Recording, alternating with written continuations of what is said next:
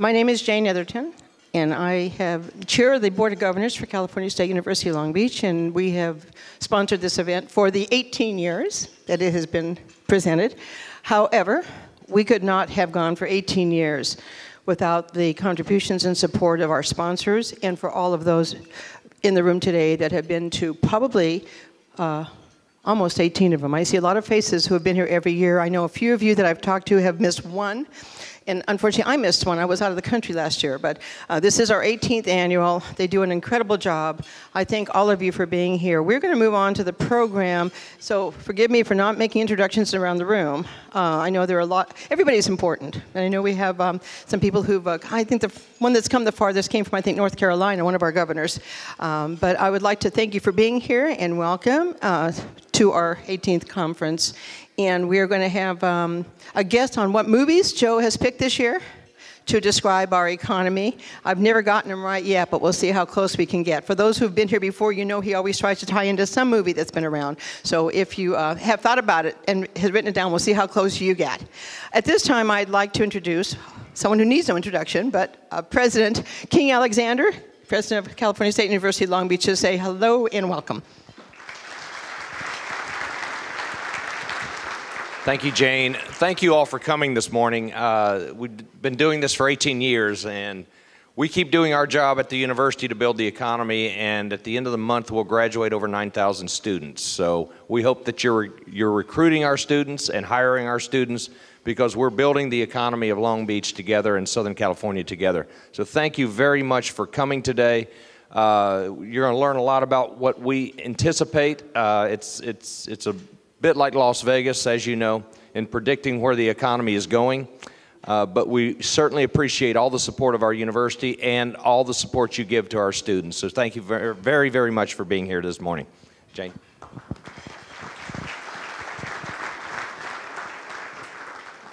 Thank you, President Alexander. At this time, without further ado, we have uh, Doctors uh, Magaddino and Grobar, who have been doing this uh, since I've been involved with it, and uh, they've been on target for so many years. I hope that they have uh, a little better news this year, and uh, we want them to be on target, but we want the news to be better. So please welcome Dr. Joe Magaddino.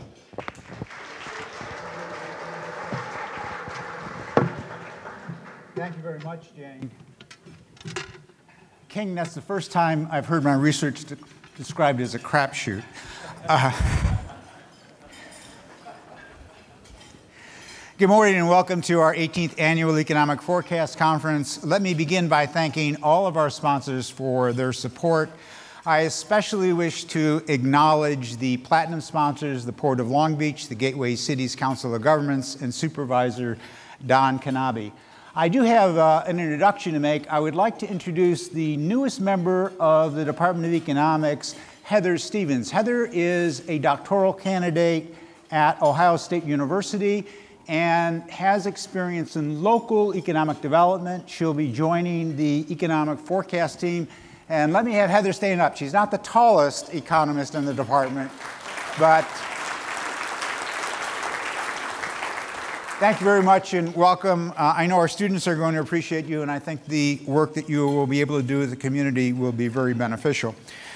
Before I begin with our presentation, I ask you to turn off or silence your cell phones as a courtesy to all in attendance. The packets that you have contain a copy of the slides that we're using in this morning's presentation, except for my introductory remarks. So I thought I would begin on a positive note and remind you that this recovery is almost three years old. It began in July of 2009.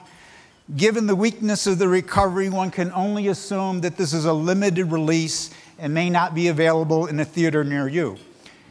Now, last year, we began our presentation talking about the long term structural problem facing the U.S. economy, and that is the growth of the federal debt. Virtually all are in agreement that the current path is unsustainable. And of course, if it's unsustainable, then it won't last.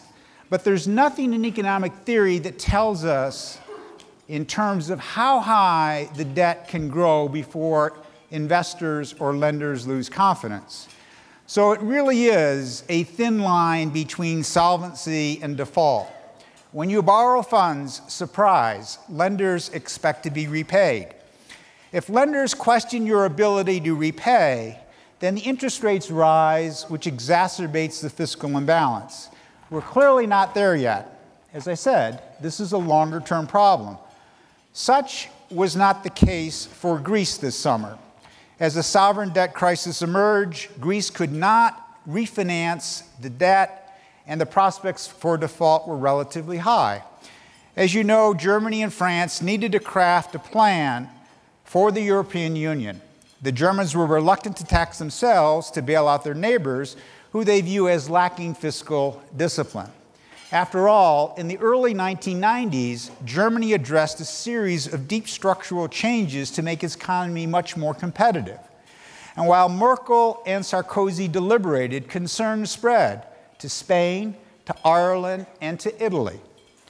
There was a legitimate fear that the euro would unravel, that there would be a meltdown of the European banking sector, and that financial institutions would fail, much like they did in 2008. Merkel and Sarkozy formulated a plan to provide bailout funds in exchange for austerity measures, and these austerity measures are now being questioned in some countries given the results of the most recent elections.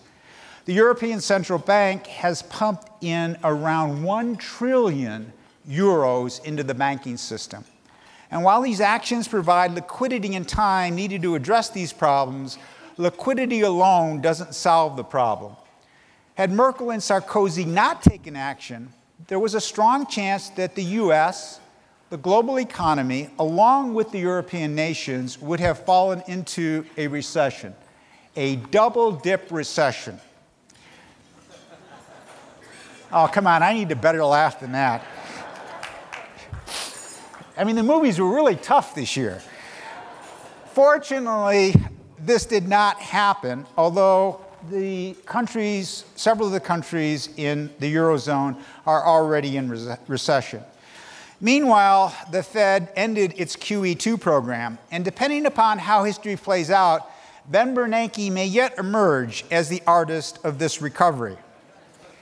As we gear up for the national elections this November, it appears that after a long and at times a very divisive primary season, the Republicans have coalesced around Governor Romney as their standard bearer. Now, is it just me, or do you think that Michele Bachmann looks better as a blonde?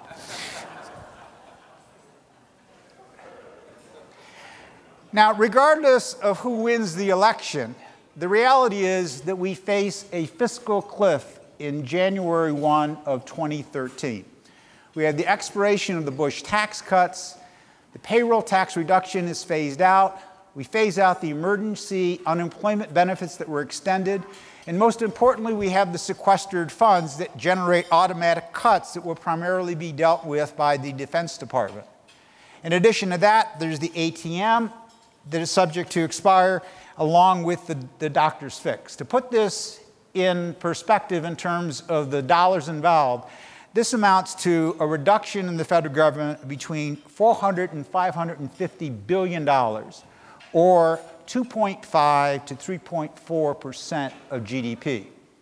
So there's a significant challenge that faces any new administration.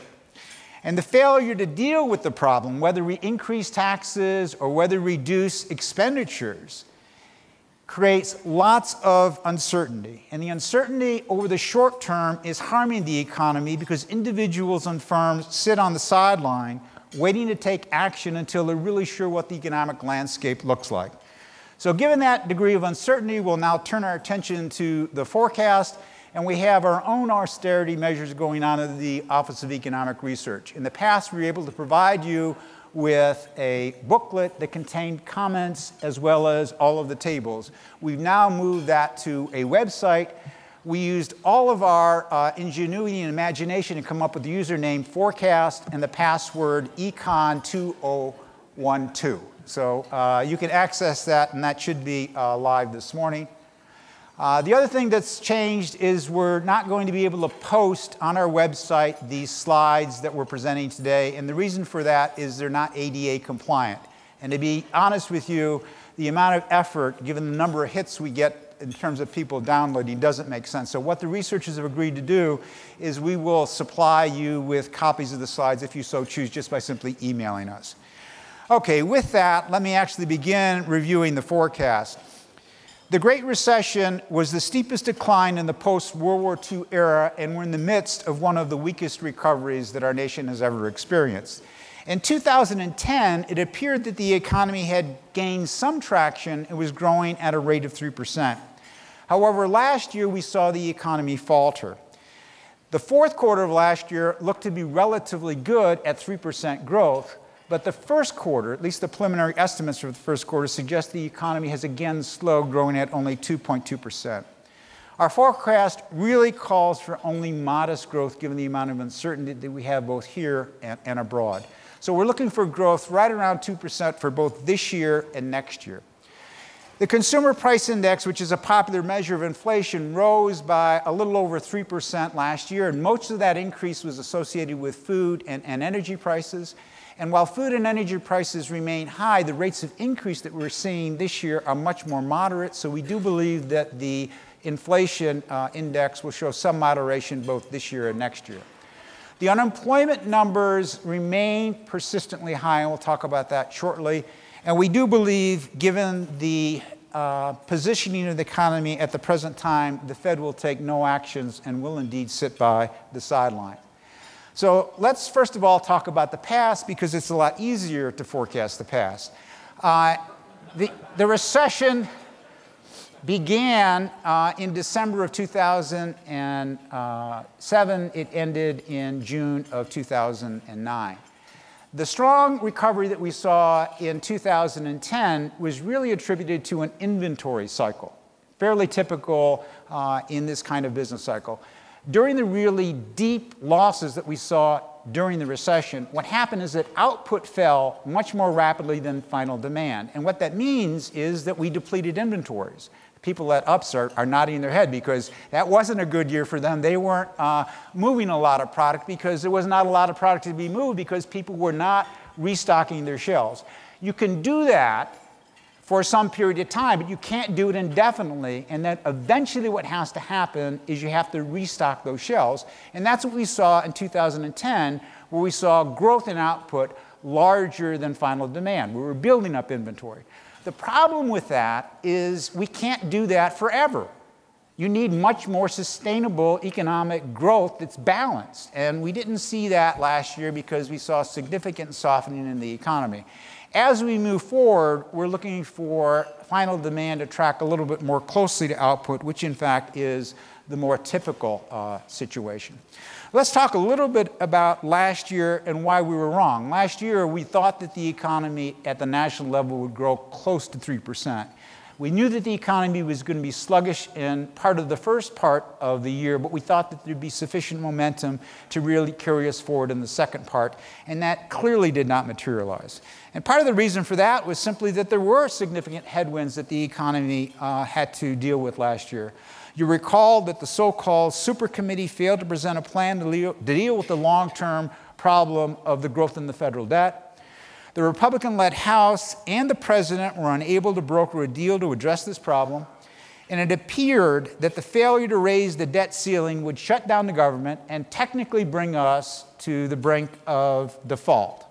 The political maneuvering of both parties seriously undermined consumer confidence as well as business confidence. And indeed, the solution that they finally agreed on was simply to kick the can down the road until after the national elections. In March of last year, Japan suffered a devastating earthquake and tsunami, and beyond the tragic loss of life and property, there were major disruptions in the global supply chain that particularly impacted the oil, excuse me, the automobile industry in the United States. We also had the Arab Spring, we had turmoil in the Middle East, we lost the oil from Libya, and we saw prices jump from $78 a barrel to 110, excuse me, $101 during the first half of last year. The $23 increase in crude prices eroded real purchasing power, and that also slowed the economy. And lest we forget the sovereign debt crisis that began in the summer. And while the ECB has done much, along with our own Federal Reserve, to increase liquidity in the Eurozone, this action treats the symptoms but not the very basis of the problems. And clearly, the debt crisis and the austerity measures have forced some of the European nations into a recession, and that certainly dampened the growth of exports. I'd like you to pay particular attention to the next slide because the slide you have in your packets is wrong, and I apologize for that. That's my uh, fault. But I'd like you to look only at the last three years 2010, 2011, and 2012. And what this slide represents is the contributions of the various expenditure groups to overall GDP. So, first, let's look at the red bar, which is the contribution of consumers. And consumers, you can see, pretty much have held the course, that each year they're contributing about the same amount to overall GDP growth. In 2010, that, that blue bar investment you see is really high, but that's no more than simply the buildup of inventories. And we didn't think the buildup in inventories would carry forward, and so in 2011, you see that that has dropped. The real surprise for us is net exports. Okay, net exports were really very, very strong in 2010. And we had thought that that was going to carry forward to 2011. And of course, that didn't materialize because we had a slowdown in the global economy. The emerging nations are growing much slower. We have a recession going on in Europe. And all of those things limit our ability to export goods along with uh, an increase in the value of the dollar. So moving forward, uh, we think that you, your strength is really going to be again in consumption and investment expenditures on balance, the net exports should either come in as a slight drag or neutral. And of course, the government sector is now becoming a drag on the economy, which is simply atypical, uh, usually given uh, the business cycles of the past. So let's talk a little bit about consumption, consumption growth. Uh, we're looking at right around 2%. Uh, we think it is indeed unreasonable to uh, suspect that we could get to a more robust level of consumption growth, which would really be a, a good driver for the economy. Uh, not the levels that we saw uh, in the middle of the last decade, where we saw consumption growing somewhere between two, two and a half to three and a half percent. It's not reasonable, and the reason why it's not reasonable has to do with the, uh, a variety of different factors. And the first one I'm going to talk about is the job market. This recession generated job losses on the order of 8 million the recovery to date has generated job gains of around 4 million. So there remains a sizable number of people underemployed and unemployed. Given the slow rate of job formation, unemployment is going to remain persistently high. And more importantly, we haven't seen the job growth necessary to get the income growth to really move consumption forward. The last two months, employment numbers were disappointing. They averaged about 135,000 jobs in those two months. In the prior three months, from December to February, the average was 250,000, and it appeared to some that the economy was really well ready to take off. And in fact, it was a little bit perplexing. Even Ben Bernanke said he was confused by the numbers because it seemed to be the employment numbers were growing faster than the output numbers. And so now what it seems to us is while the numbers in the last two months are disappointing, they're probably more realistic with what we see in terms of the overall growth of the economy. Okay, a modest level of economic uh, activity is taking place. Part of the increase of unemployment, excuse me, employment numbers in the earlier months may simply be due to the unusually good weather that happened back in the Northeast, which simply means that jobs were uh, moved up earlier in the calendar year than they otherwise might. Now, we do think that the employment is going to improve, and sort of one of the reasons why it's going to improve has to do with the productivity numbers. So, this is both a good news and bad news scenario. The good news in the very short run is that firms have done everything they can to raise productivity, and they can't get any more out of their workers. And so the productivity numbers are down. So if you see an increase in demand, the only way you're going to be able to meet that increase in demand is by adding on to your labor force. And so that's the short run, that's the good news. The bad news over the longer term is productivity is one of the key components to determining long term economic growth, and long term economic growth determines our ability to increase our standard of living. So if these numbers remain low, then that means the long-term prospects for growth are greatly reduced. We don't think that that's going to happen. We think that in a couple of years, we should see a return to uh, reasonably good productivity numbers. Consumers have done a fair amount of consolidating uh, their balance sheets. Uh, they've reduced uh, their non-mortgage consumer debt considerably. You show, we show a little bit of an uptick this coming year. And part of that is due to the fact that there's a lot of pent up demand with respect to automobiles in particular. And auto sales have done really well. So consumers are at least confident enough to take on the additional debt burden.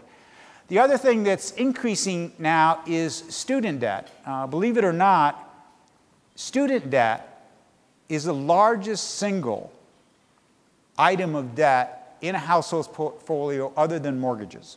So it really eclipses all other uh, debt. So given the deposition of the consumer, it's improving some, but not enough to see really robust growth. And lastly, uh, it was a good quarter for the stock market. We're heading in the right direction in terms of the overall wealth uh, of households in the US, but clearly we're way below uh, the peak that we had before the recession began.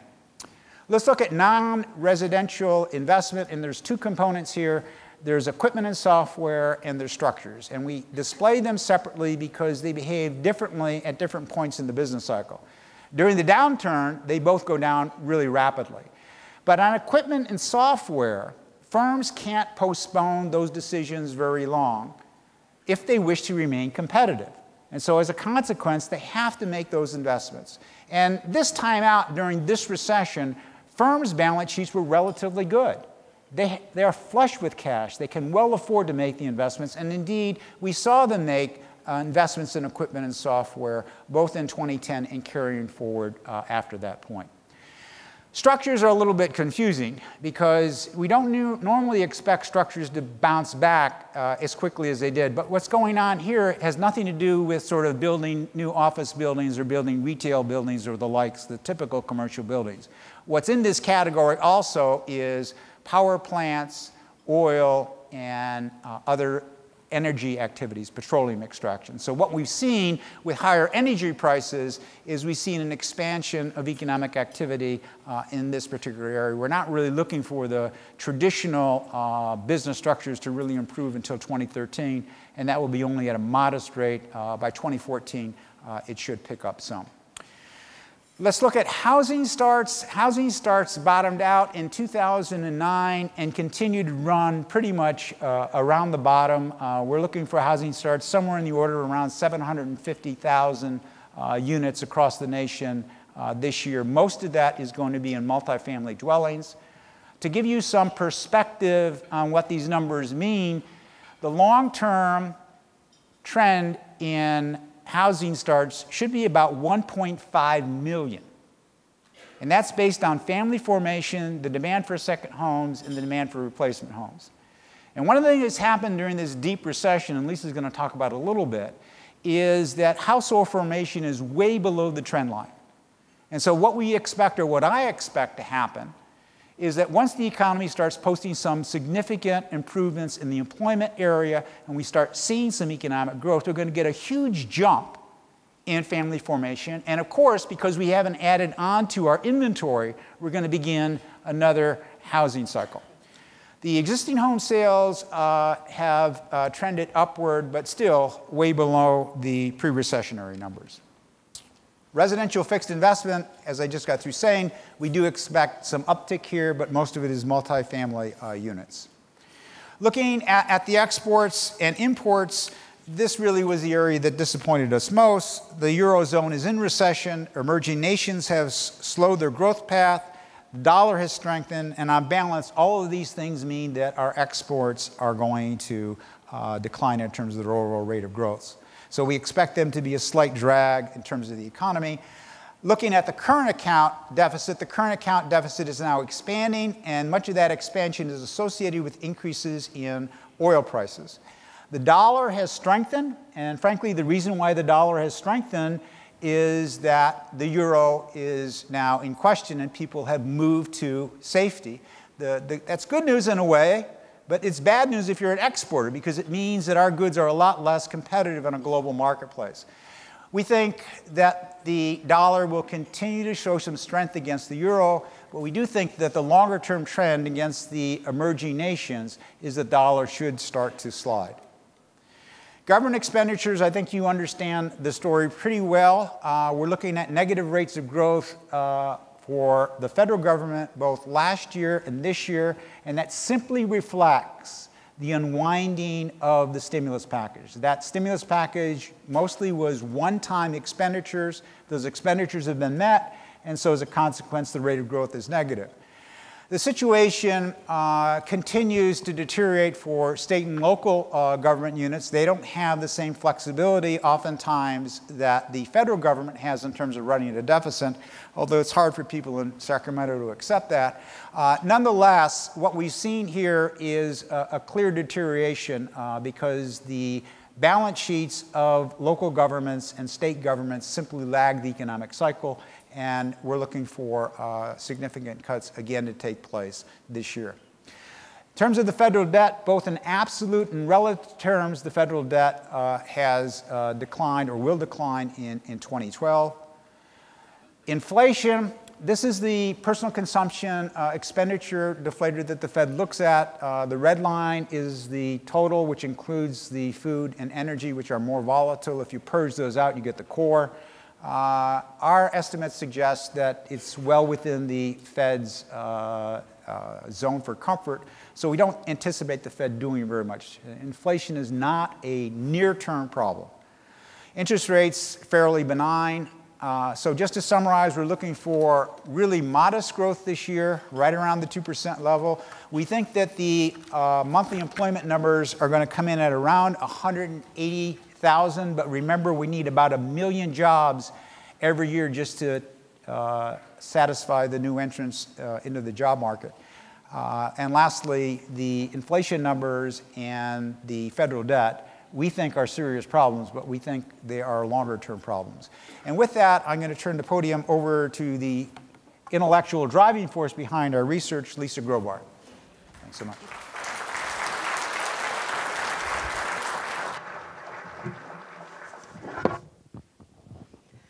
Thank you. I'm going to be presenting our outlook for the Southern California regional economy. And I thought I'd start out this morning by taking a look at the recent quarterly history of employment growth in Southern California. And about this time last year, we started to become increasingly confident of an imminent recovery in the region because we started to see a couple of quarters of just po barely positive growth uh, emerging in the region uh, right at the end of 2010. Although the annual number was a decline for 2010, we, we started to see some quarterly gains. And the good news is that we have sustained positive quarterly economic job growth in the region ever since. Uh, the bad news is that the growth has not been particularly robust. And uh, in all of these quarters, you see that employment grew by 1% or less. So we would characterize this at the regional level thus far as a, as a modest regional recovery. One thing that's always interesting is to kind of compare how is the region doing compared to the nation in terms of job growth. Um, you can see that uh, the beginning of the recession, we trended very close to the nation. And then uh, our recession uh, became just a little bit deeper and more prolonged than the national recession. So you can see the region's recovery in orange began a little bit later. But by uh, the end of 2010, we had sort of caught up to the region's recovery, although we are trending a little bit lower in terms of employment growth in, in the latest few quarters than the nation. But overall, the cycle has been pretty much following the, the uh, national path.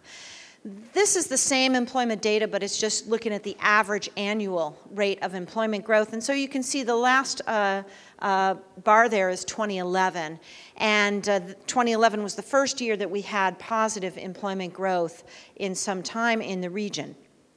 Again, it's been moderate growth, but one of the things that you can see with this time series here is that um, it's, it's not uncommon for uh, the region to see a period of moderate growth following a recession. So you can see that following the recession of the early 1990s, on the left there, uh, the first year out was pretty moderate, and the same thing with the recession of 2002. Um, but the year after that year uh, of recovery, uh, generally we see employment uh, accelerating, and that is actually the story that we will be telling today, and I'll have the forecast for you in a minute. But first, taking a look at the county trends, I think that the thing that stands out the most for 2011 was just simply that Orange County really led the economic recovery in the region. Uh, it was the only county that saw employment growth above 1%, and it just slightly so. Uh, the region grew at about 0.6% uh, last year, and that was exactly the rate of growth of LA County and Ventura. And then uh, the lagging area in the region has been Riverside, San Bernardino. But nonetheless, even that area saw positive economic growth. It was only a three tenths of a percent gain, but it was a above the line growth even for that lagging region in 2011. So here's our forecast, and as I said, uh, the second year out looks to be a lot stronger than uh, the first year out of the recession. Uh, for 2012, we are predicting that the region will uh, post a job gain of 1.5%. So that's a lot stronger than the 0.6% gain we saw last year. And in fact, our forecast has the region uh, continuing to strengthen over the forecast horizon. By 2014, we're going to be adding jobs at, at just below the 2% line. So that these three years really represent a return to a more healthy and average rate of, of job growth for the region. What's the main difference between the region this year and last? Uh, one thing I would point to is a, is a strengthening in the cyclical sectors. So the sectors that suffered the worst downturn are now coming back, and more of them are coming back this year, and that's making our economy grow faster. One area that was pretty weak in its recovery last year was retail, but as consumers are really getting back into the stores and buying, as Joe mentioned, the automobiles, we're starting to see some employment growth there. The construction sector was obviously very hard hit by the housing downturn. It's not returning to any sort of uh, robust economic growth, but we, we actually think for the region, at least as a whole, the construction sector will be above the line with slightly positive growth, and that's a big difference from where we've been.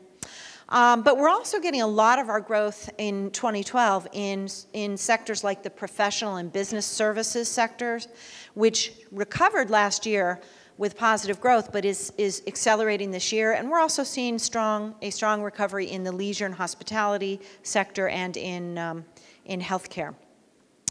Uh, as I mentioned, construction is now positive, and that's kind of a big deal because uh, you have to go all the way back to 2006 to see a year where this this sector even posted any kind of job growth at all. So it looks like the worst of the downturn is behind us, although this, is, this, this story varies across the region because we are seeing certain areas with continued declines in construction activity. But for the region as a whole, we think we're going to get a little bit of growth. It's not going to be until 2015 and beyond that this is going to show a strong cyclical recovery. Uh, as I mentioned, retail is one of the things that's propelling us to faster growth in the region this year, and uh, we're expecting above 2% growth in retail employment. Uh, over the longer term, there are some issues in retail employment that are dampening the growth. There's been productivity gains uh, that may mean that this sector doesn't grow this fast over the longer term, but we're getting a nice cyclical boost to gain back some of those many jobs that we lost in this sector during the recession, especially in 2009. As I mentioned, the, uh, professional business services, this is definitely a bright spot. Definitely a bright spot for the regional economy. We did get some pretty good job growth even last year of almost 2%, but you can see our, our forecast has, has the sector accelerating to 3% growth this year and almost 4% growth by 2014. And this is important for a couple of reasons. Um, this I would say most of all is important because this is a sector that has a high average wage. There is diversity within the sector, and I wanted to pull out some of the detail um, to give you some sense of, of what kinds of jobs are in professional and business services. And uh, we get the most detailed data for Los Angeles County, so the growth rates here are actually for LA, not, not the region as a whole.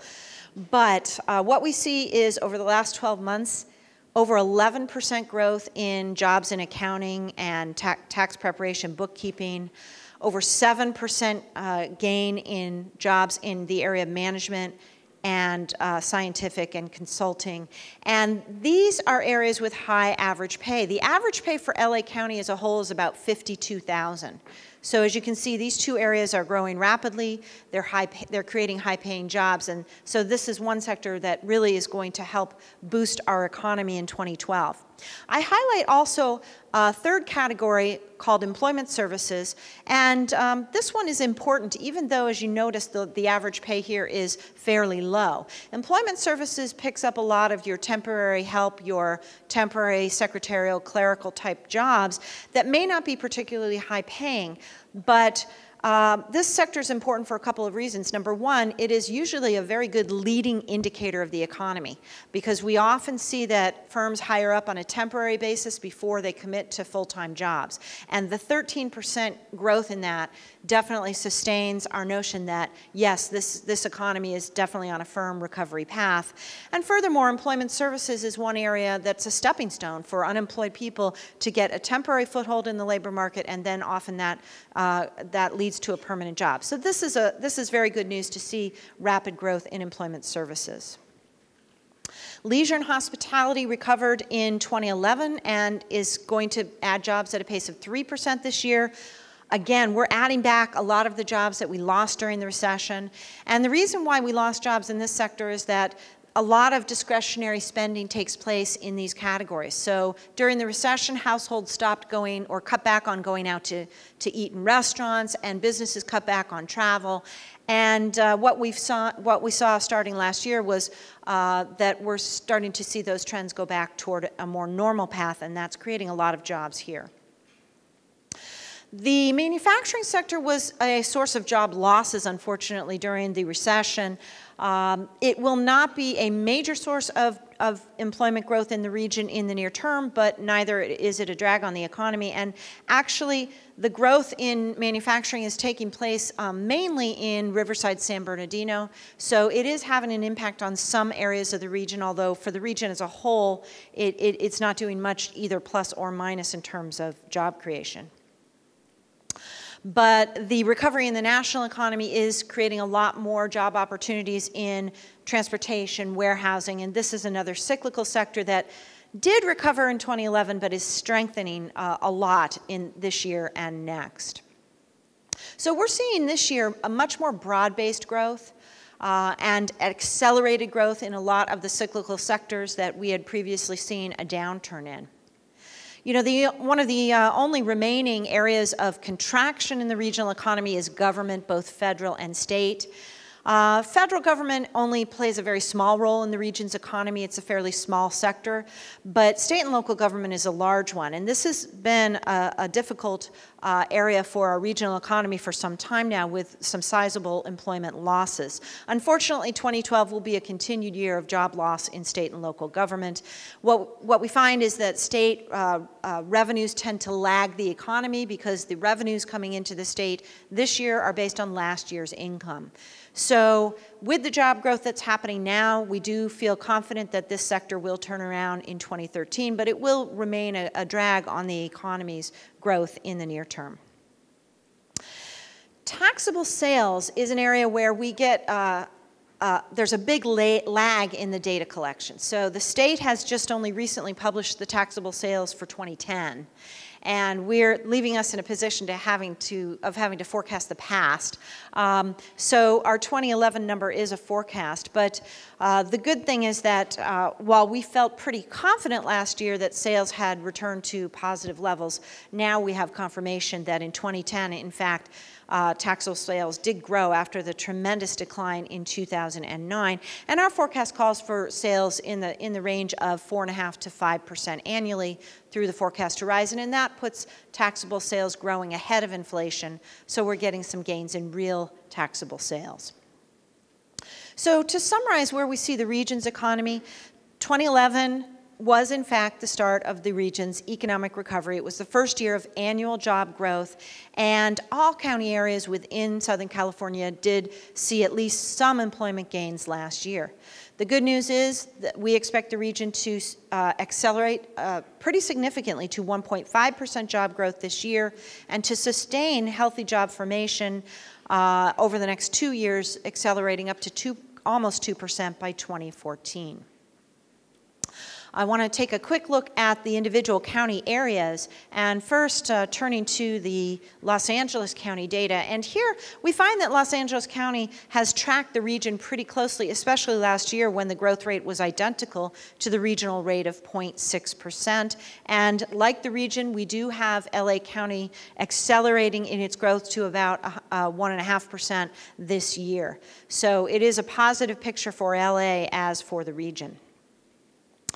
In Los Angeles County, as for the region, I'm going to highlight the four service sectors that are going to create almost all of the net job growth in the region this year. So if we look at LA County, for example, uh, adding about 60,000 jobs to the region's economy, which is about 60% of the total, because we're going to get a, gain of about 100,000 jobs this year, just under that. Um, the bulk of that job creation is happening in just four sectors, and they are all private sectors, and they are, are all service sectors. Uh, health and education, which traditionally grows, as you know, because health services is relatively immune to recessions, will post some gains. Uh, I have already mentioned professional business services.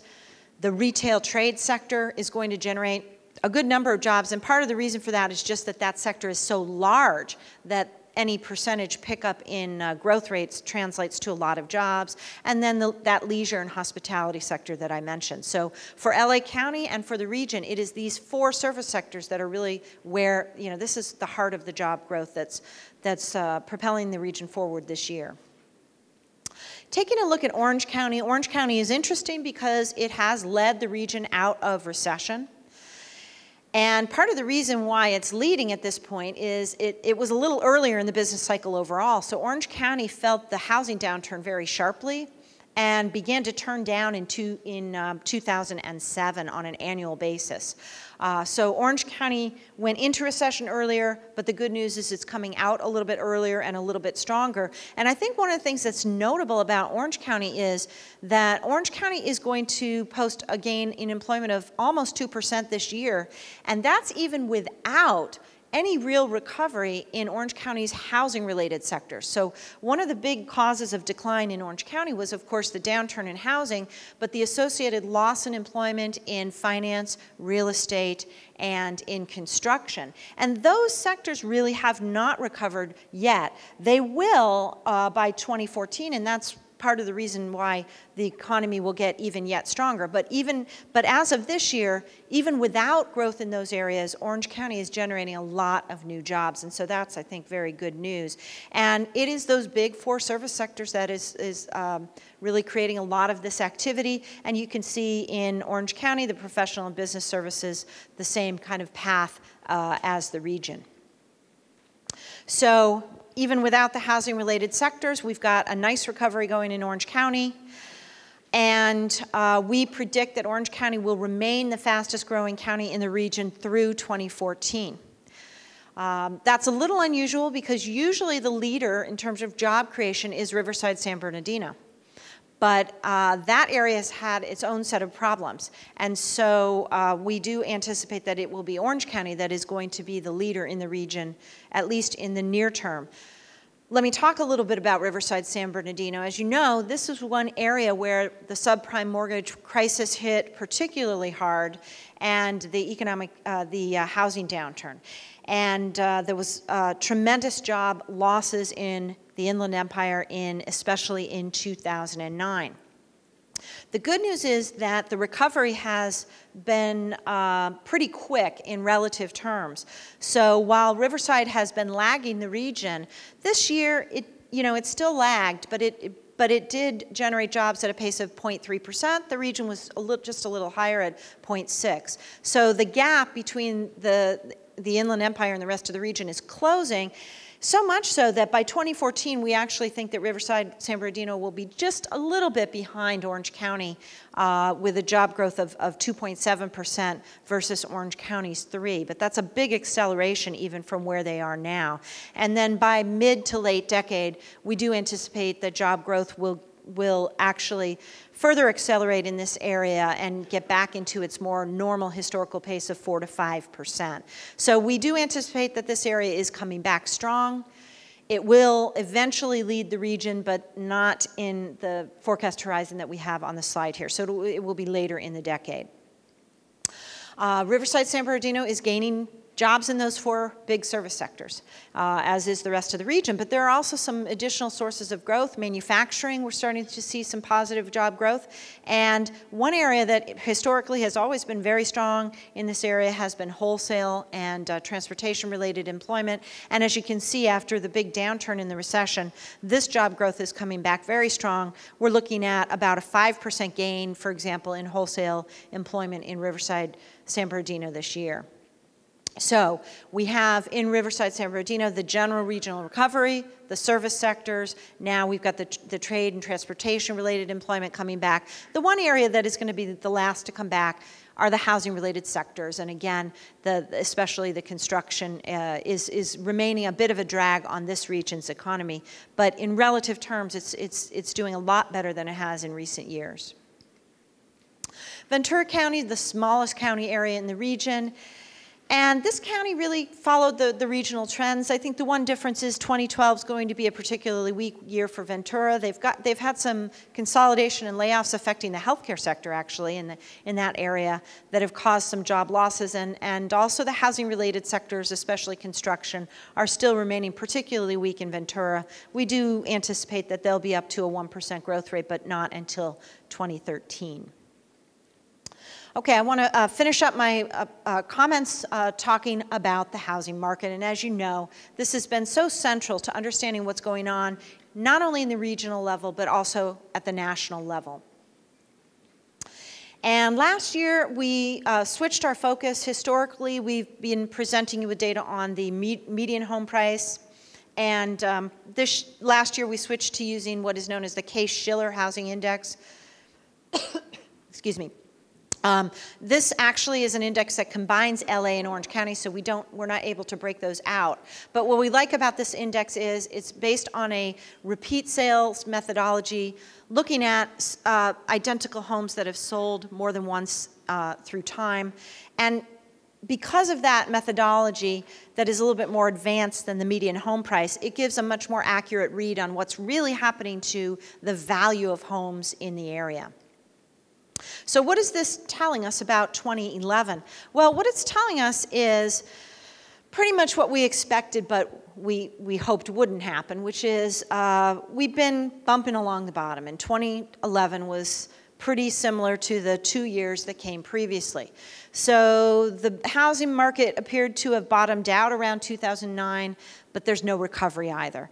And, um, and we had hoped that by this point in the cycle, we might start to see that recovery, but it did not materialize in 2011. I guess the only good news is that we didn't see any sort of steep decline either, but we're really hoping to get the kind of recovery started up in housing that we're seeing in employment, and it just isn't there quite yet.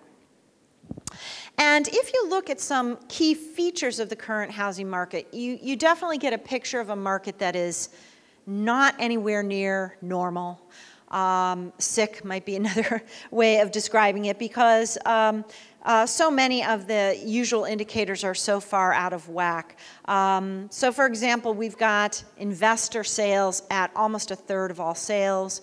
And going along with that, uh, a very high number of cash purchases. Well, what does that imply? It implies that the, the, the typical home buyer that we always rely on, which is the household that is buying a housing unit to live in, uh, is still largely not participating in this market. Uh, and that means that the market just is not anywhere near normal. And uh, another uh, abnormal indicator uh, is the percent of distressed sales. This would be your foreclosures plus your short sales, the combination of the two, accounting for about half of all sales. And again, that's a very, very high number it's coming down actually from recent years, but it's, it's much higher than it would be in a typical year in the housing market. So the housing market's still got a ways to go to, to normalize.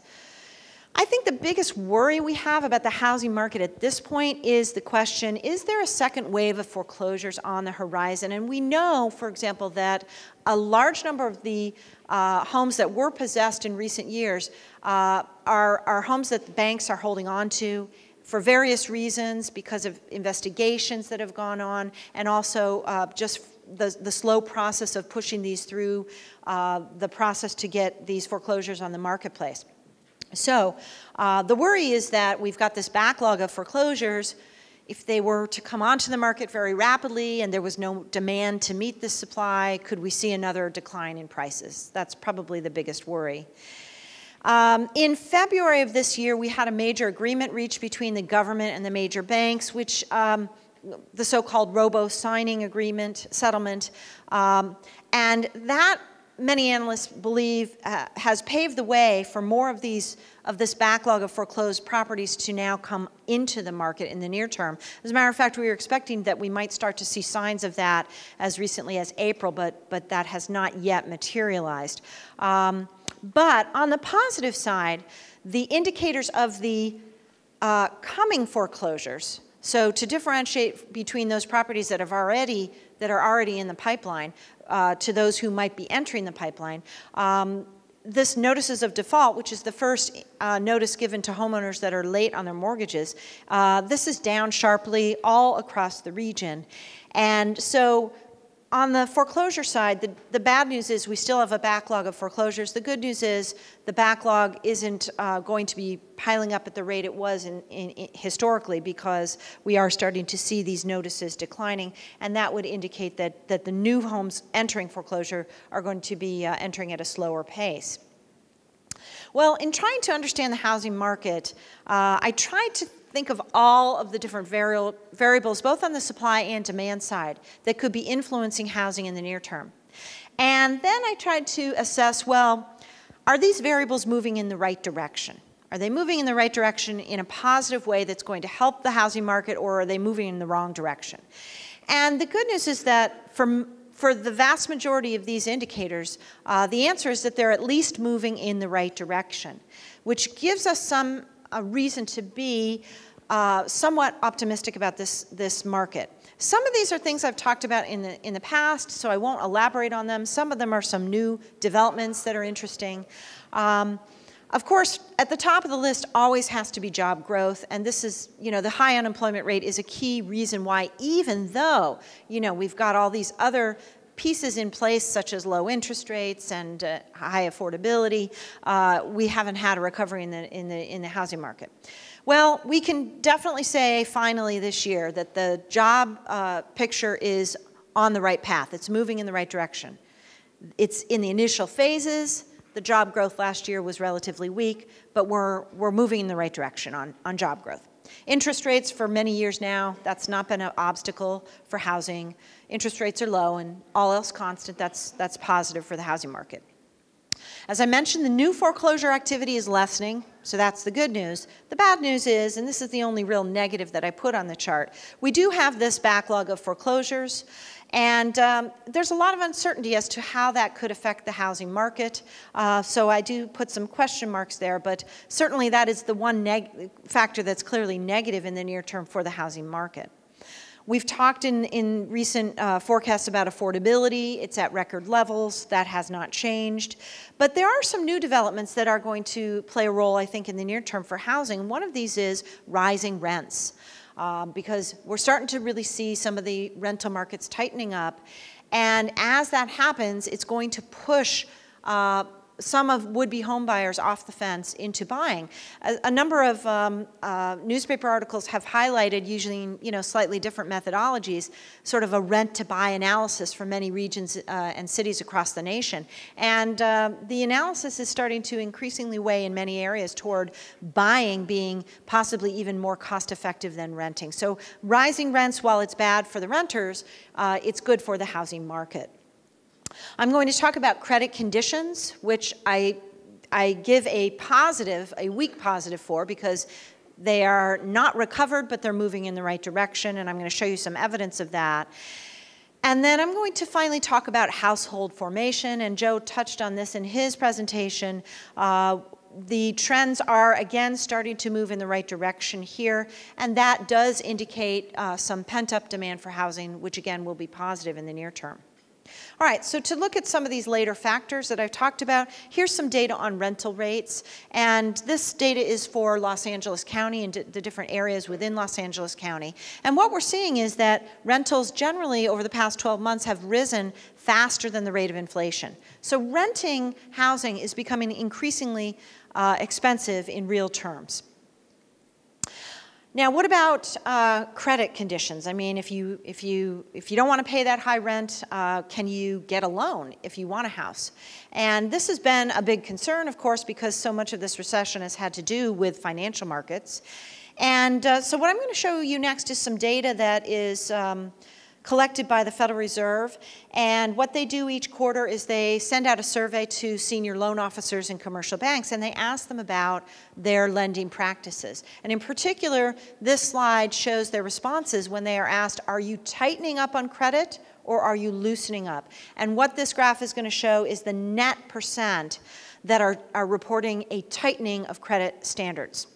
So, not surprisingly, of course, in 2008, you can see that this, uh, this index rose very, very sharply. Almost all the banks were tightening up sharply on their lending standards. Since then, uh, the, the uh, the index has come down, but what we really need to see is for this to cross the zero line. At that point, we've got more lending officers reporting that they are loosening standards than tightening. And we are starting to see just below the zero mark, especially in the latest quarter. So I, I, I, talk about this as moving in the right direction, but it is weak evidence of, of easing. And in the non-traditional mortgages, which were so problematic earlier in the decade, um, these are not easing quite as much, uh, but the trend is somewhat similar.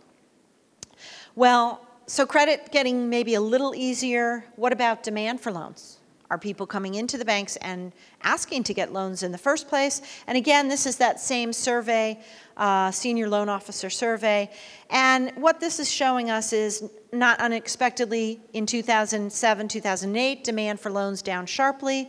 We saw a brief resurgence in the demand for loans in 2009 uh, when we had the federal uh, home buyer tax credit that pulled some buyers into the marketplace. Then it sank below the zero line again. But the good news again is in the last few quarters, we're starting to see this above the line. So yes, some weak evidence of uh, some strengthening demand for loans and some slight easing but the trends here look to be moving in the right direction. And then this final slide shows the actual loans made. And again, this data comes from the Federal Reserve, and it tells us, well, what was the growth in the real estate loans that were actually made in each year? And again, uh, 2011 was a continued decline in mortgage lending. So the bad news is that um, as late as 2011, um, this number was negative.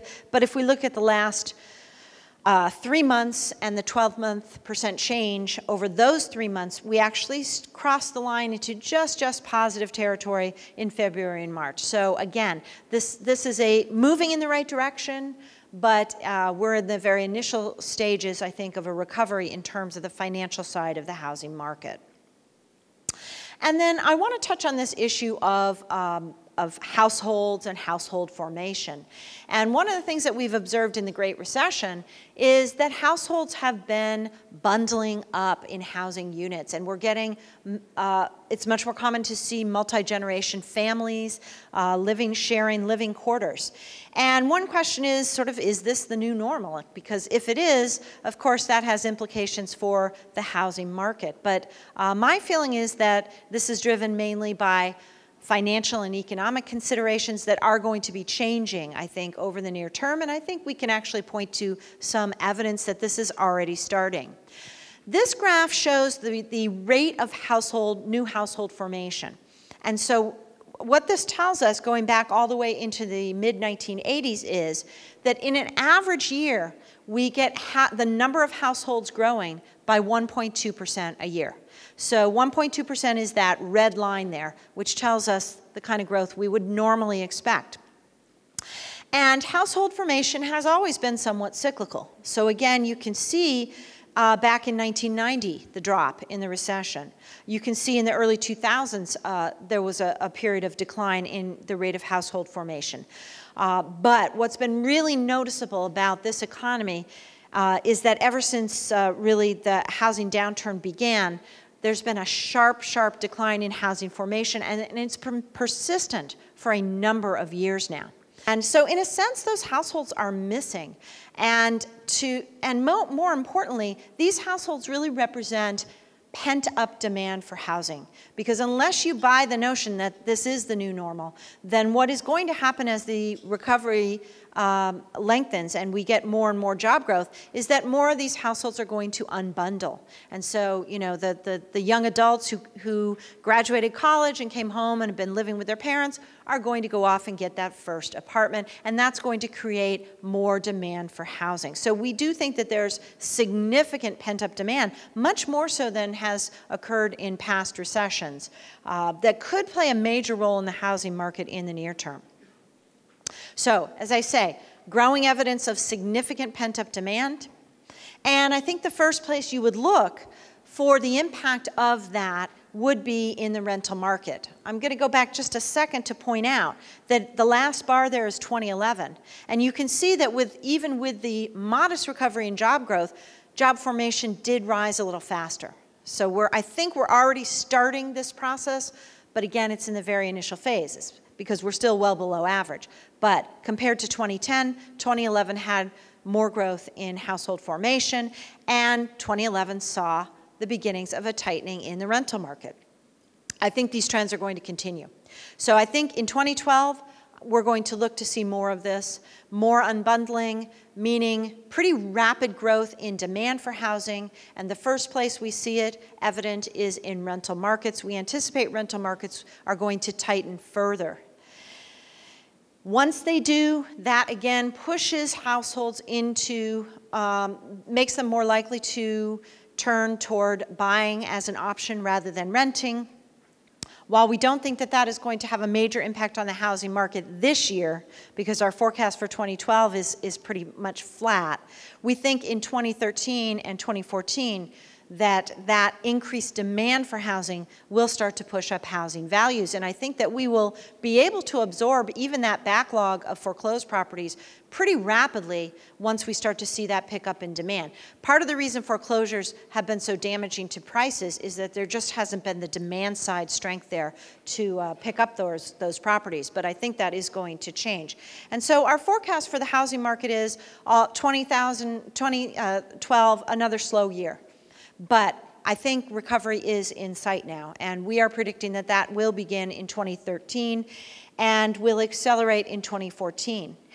It's going to be very closely tied to the job market because as, as, as jobs recover, this unbundling of households could happen at a faster and faster pace, possibly leading to a sharp increase in the demand for housing and um, I think our major problem with housing in the second part of this decade is not going to be a lagging housing market. It's going to be, again, uh, we're going to ultimately going to be more concerned with housing affordability because, uh, as Joe mentioned, the pace of construction has not uh, kept up with this. So I think um, for 2013-14, what we're going to see is the last piece of the puzzle put into place in terms of the region's economic recovery, um, the housing market recovery, uh, which will mean that we will have a more complete economic recovery uh, beginning with 2013.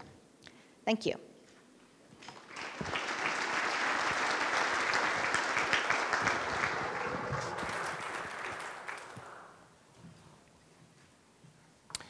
Thank you very much, Lisa. I'm going to turn my attention to the uh, Long Beach economy. This is work that uh, is done by myself, uh, but the bulk of the work really is done by Dr. Monaco.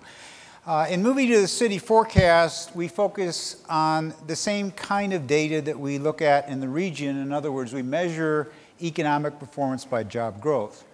But cities are much smaller geographical units, and the residents don't necessarily live, work, and shop in the same area.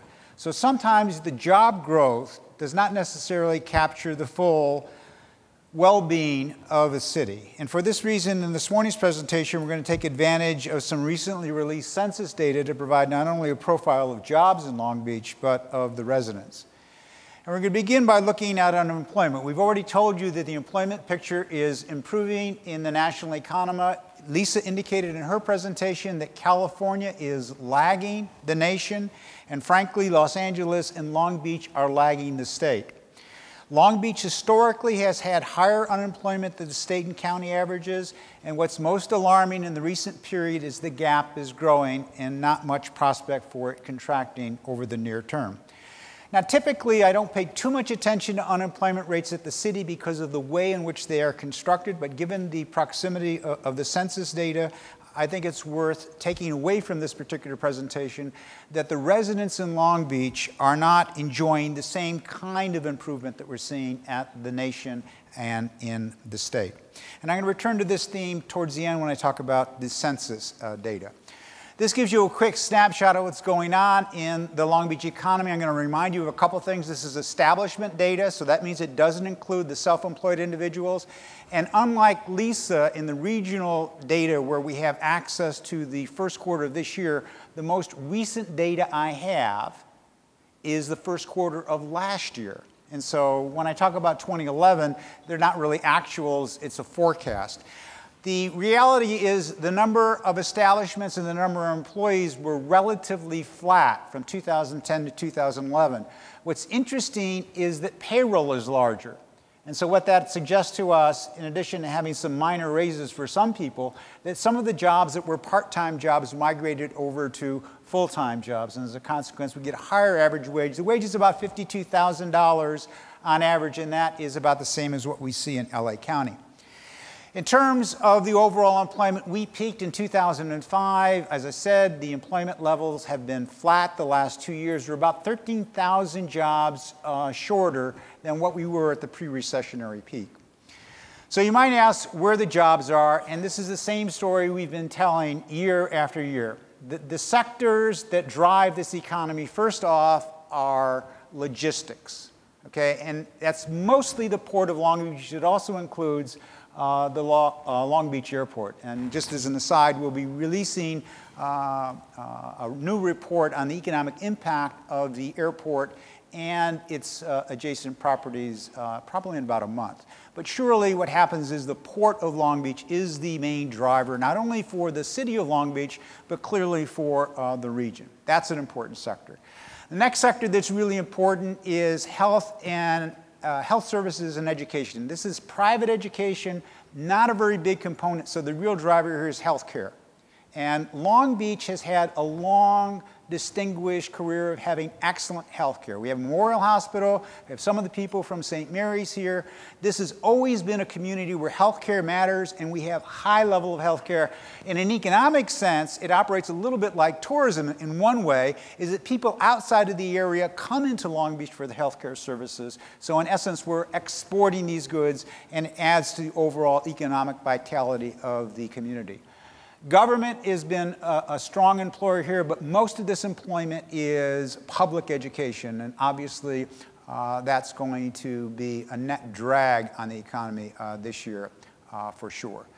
Leisure and hospitality, tourism uh, really matters. It's about 10% uh, of the uh, employment base, and it generates the overnight visitors alone generate about $330 million directly spent in the city of Long Beach. So uh, it clearly is an important sector.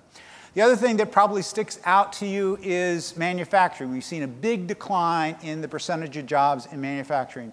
And since this is a political season and people are interested in jobs and interested in manufacturing, I thought I'd spend a little time trying to temper some of the discussion to show you what's actually going on. So this is a graph that takes the total number of manufacturing jobs and divides by the total number of jobs in the economy over time. So back in 1950, when I was a little boy, every one in three jobs was a manufacturing job. Today, that's less than one in 10. In fact, it's less than 9% of the jobs in the US economy are manufacturing jobs. And let me submit to you that during the decades of the 1950s, 60s, 70s, 80s, and through much of the 1990s, we did not lose manufacturing jobs because we were outsourcing to Asian nations. The story here is the tremendous gains in productivity. You give workers more capital, they're able to produce more, and as a consequence, you need fewer manufacturing workers. Last year, we added 207,000 jobs in manufacturing. You have to go back to 1998 to get another year where we added manufacturing jobs. The story here is exactly the same as the story in U.S. agriculture. In U.S. agriculture in 1880, we had over 85% of the population on the farm. In less than 100 years, that went down to less than 2%. And today, we are the second largest nation in terms of the value of agricultural goods produced. That's the manufacturing story. There isn't anything in national policy or state policy that is going to return around this long term secular trend, nor should there be. Okay, let's look at mining, utilities, and construction. Lisa already talked about construction, so there's not really much to say here. The interesting thing for Long Beach uh, is really mining. Uh, of course, there's not a lot of mines in Long Beach, but what there is is gas and petroleum. And as oil prices went up, what happened is we saw uh, an increase in the amount of jobs in that area. And in a minute, I'll show you that those are relatively high paying jobs, not much going on in the utility sector. Government employment, let me deal first of all with the anomaly. Lisa indicated quite properly that at the regional level, we're losing federal jobs. That's not true in Long Beach. In Long Beach, we're getting an increase in federal jobs, and that's really a function of the two transportation centers, the port and the airport. Both of those facilities, either directly or indirectly, require more federal presence in order to effectively do their job in a secure environment.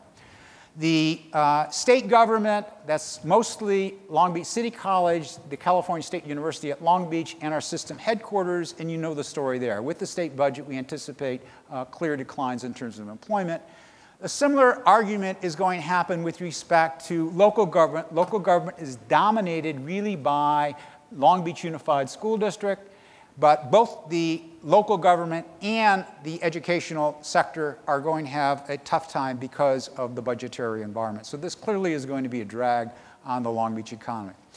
Logistics is a brighter spot. Uh, I'm going to spend just a moment. It's not quite as volatile as the uh, graph looks like when you look at the support for activities.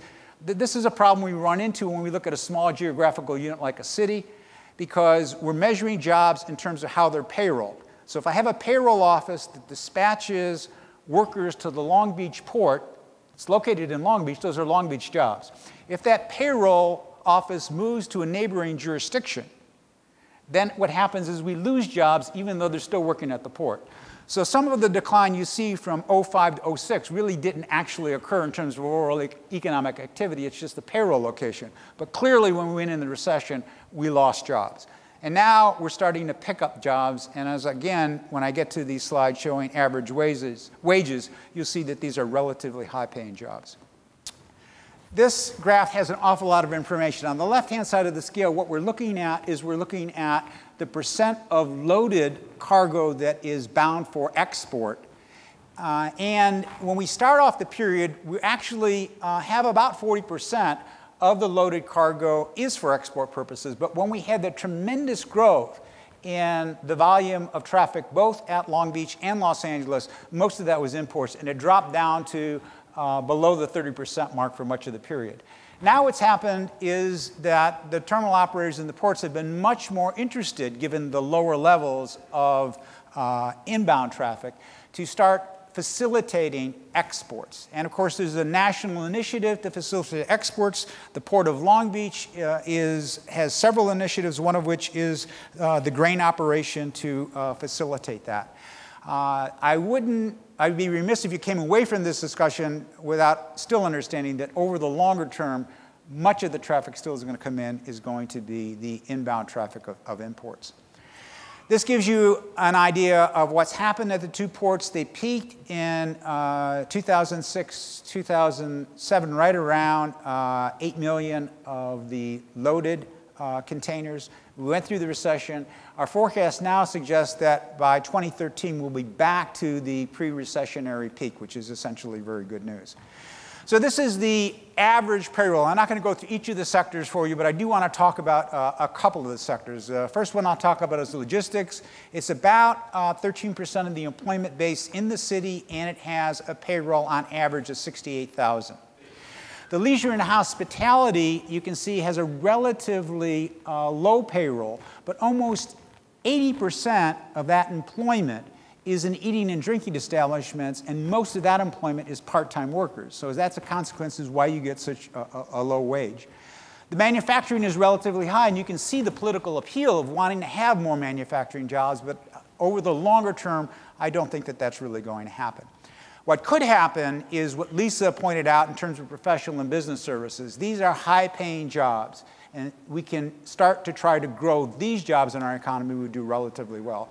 And lastly, looking at construction, mining, and utilities, that is an area that really has the highest average wage, and that's primarily driven by what we technically call the mining sector. Now, this year, we're starting something new. Uh, we have a colleague over in the College of Business Administration, Scott Flexo, who's done a uh, small business monitoring project. So the initial sample is quite small, uh, you can access that information. I'm just going to talk about a couple things that interested me in the report. First one, he asked about uh, past hiring. And what happened here is the small businesses actually we were a pretty good barometer in terms of what we saw in the aggregate. We saw employment flat. What his response uh, to his survey indicated that it was pretty well balanced. About 15% of the people expected an increase and 16% expected a decrease. So that sort of coincided with our result. Uh, a little bit more interesting is what's going to happen in the future. The way you read this graph is at the 50 uh, mark, it's neutral. If it's below 50, they're negative. If it's above 50, they're positive. Uh, and the question really dealt with sales and revenue as profits, and stuff like that. And you can see no matter which way you cut the data, uh, the small business community, uh, at least in his sample, is uh, fairly optimistic. And so we're looking forward to working with Scott and trying to blend the two different methodologies and seeing if we can get some better insight in terms of what's going on in uh, the Long Beach area. The commercial off office space, frankly, this diagram is a little bit different than the one I'm usually used to presenting. Usually what happens is the Long Beach airport area, because of its proximity to the freeways, has the highest occupancy rate. But what's happened in the last year is Boeing has consolidated some of its space, and about 200,000 uh, square feet has become available, and that's not quickly able to be absorbed. So the real winner here is downtown Long Beach. Uh, they have excellent uh, Class A and Class B facilities close to the freeway, uh, and the occupancy rate looks uh, uh, very high. Uh, Kraig Kojian and his team at DLBA have shared with me an economic profile. I think you had some of that information on the tables this morning, and I encourage you to look at it because it gives us a very nice picture of what's going on in the downtown area. Since the downtown has a relatively high rate of occupancy, you're not surprised given the quality of the buildings and the amenities of the downtown that the rates are relatively high. LAX and El Segundo, they have a vacancy rate of about 25%, and that's really what's accounting for the relatively low price. If we look at Long Beach, and compare Long Beach to the other cities in the South Bay, we're actually doing much better than the neighboring cities, although none of the cities are doing as well as they were doing before the recession hit. Now, this gives you something about uh, information about housing, and I'm going to try to go through this as quickly as possible because this is simply a depressing slide. Um,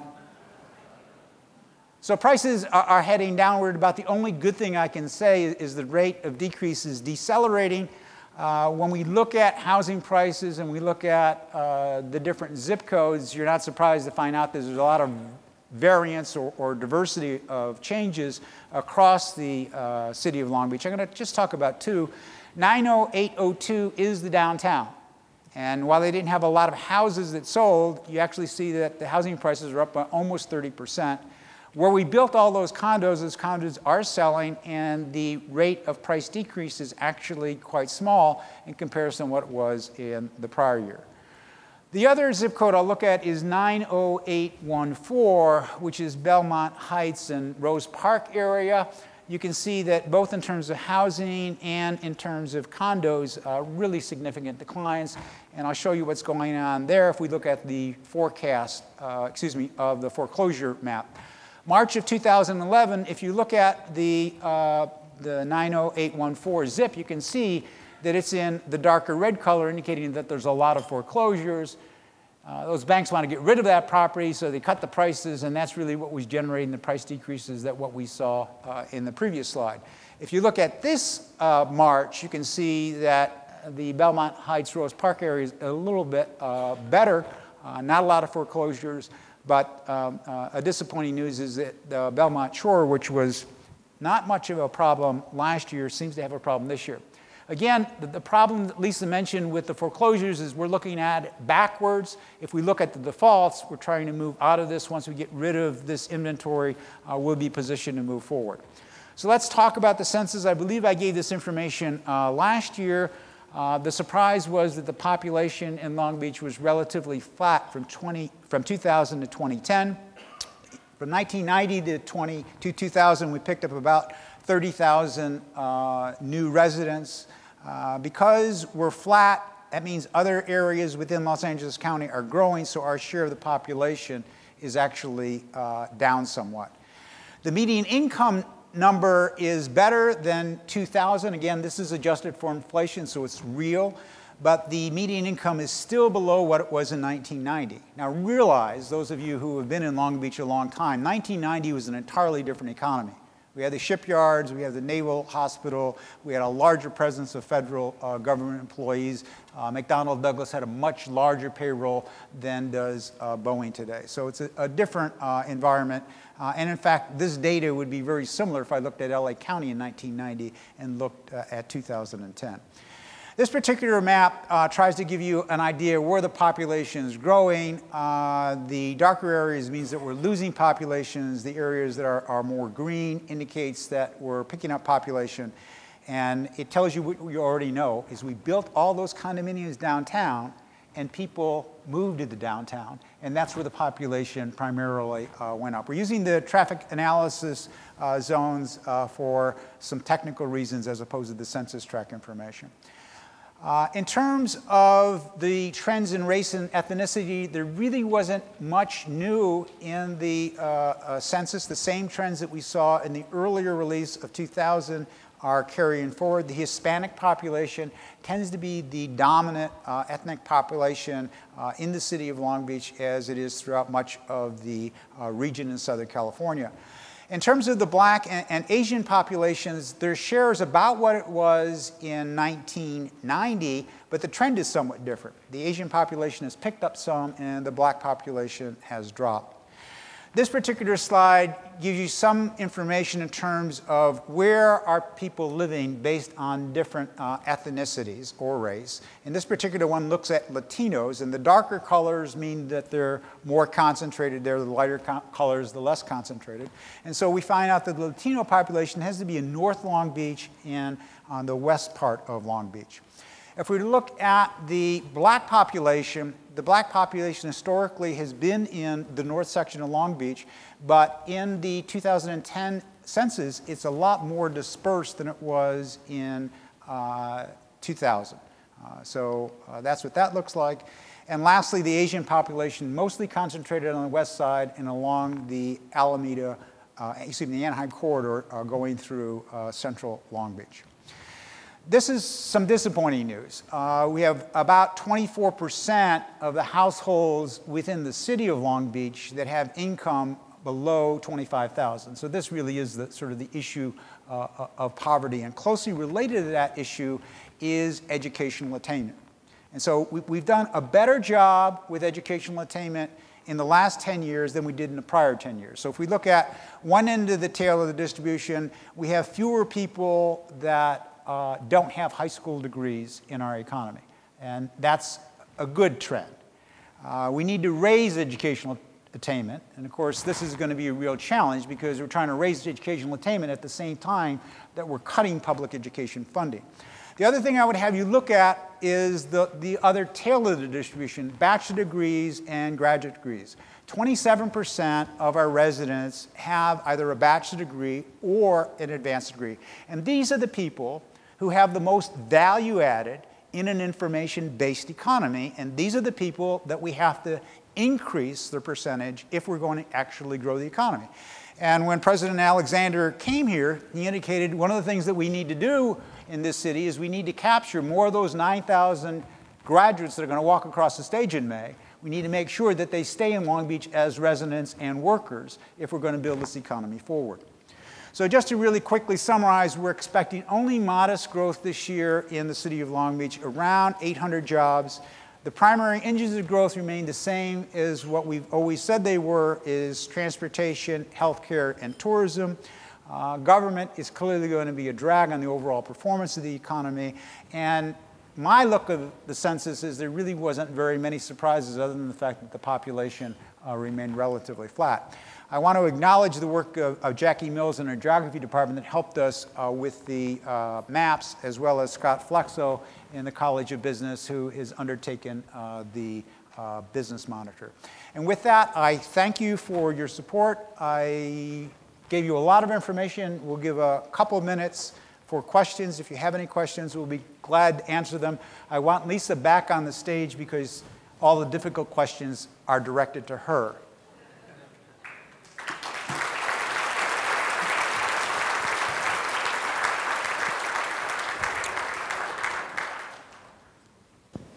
Well, I, I, think you're exactly right. Uh, uh, definitely, we're seeing the large sort of institutional investors coming into the real estate market, and um, our prediction is for further tightening in rental rates. So I think a, a bigger issue later in this decade is going to be how do we maintain affordability?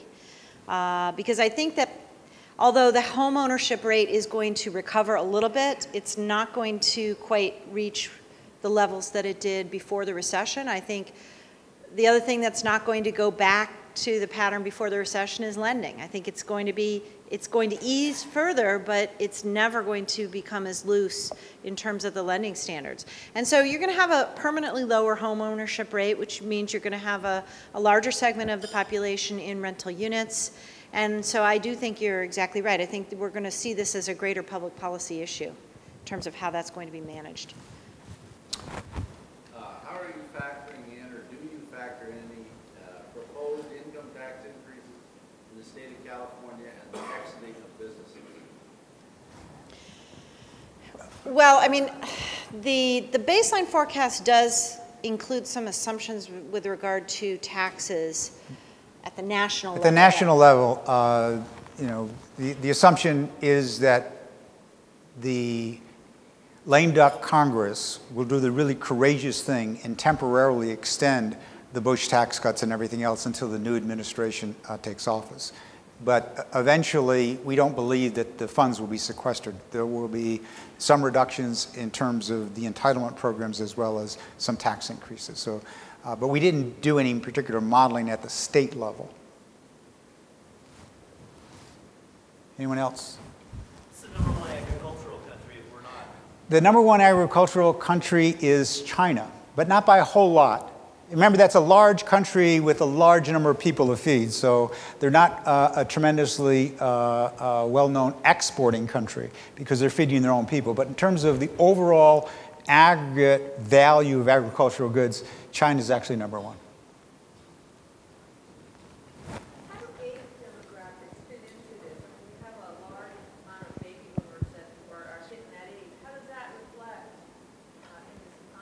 Well, actually, the, the fact that uh, we have a large uh, amount of baby boomers in our economy, uh, we actually compare more favorably uh, to other developed nations. So, part of the reason why we think the U.S. is going to grow faster than Europe, even without the sovereign debt crisis, and faster than Japan, is that in some sense we have a younger uh, population. So, uh, that over the near term, that should work to the advantage. Uh, although I'm reminded of, of, the cartoon I saw earlier in the week uh, where the, the physician tells the person uh, that the life expectancy has gone up and this is nature's way of helping you pay off your student loan. Anyone else?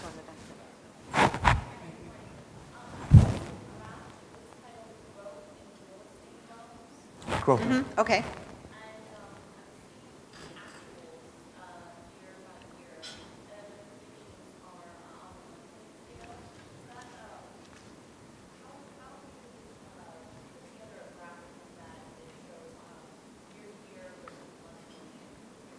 Oh, I think you're looking at the, the, the graph of the Fed data on the real estate lending.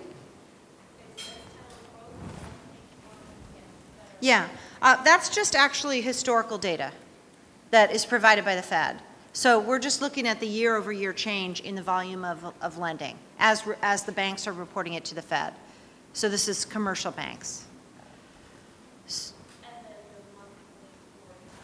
No, that's not a forecast. That's, that's uh, historical. Yeah. So all of that data you can find on the, on the Federal Reserve website, and they monitor all of these things very closely. Okay, I take this last question over here. Well, it's, the, the question is, uh, can we spend our way to economic prosperity? And the comparison is uh, with Europe because the problem in Europe is in joining the European Union, the countries gave up any ability to uh, have a monetary policy. And so if you had a monetary policy, and say you're Greece, one of the ways of, of solving this problem is you simply would devalue your currency and you try to inflate your way out of the problem. And so Krugman, in my opinion, is arguing that in the short term, he's willing to pay the price of having more inflation in the economy to get the economy moving forward faster. Uh, I don't agree with that particular prescription. Now, But don't I, I would add that so this is this is an advan- this is the uh, example of economists disagreeing. Right. Uh, this is something that we're actually actively debating in the in our department because definitely there there are different views here, and uh, you know here you have Bernanke who's a, an esteemed scholar and Krugman with a Nobel Prize, but they can't quite agree. Um, I mean, I would argue that looking in retrospect, the the Obama stimulus could have been bigger. Uh, but the problem is, can you really fix that now, given that these things take, take uh, some time to affect the economy, and the, uh, the economy's already on a recovery path? You know, there, there's differing uh, views on this. And uh, also certainly differing views on how, how much risk of inflation you think that the economy should be taking. How do you weigh the problems of un- unemployment and inflation and all of that? So uh, this is, this is definitely an area of raging debate within the, within the discipline of economics, for sure. I thank you very much for your attention. We're going to stay around a little bit to handle any other questions. Uh, and again, I appreciate your support.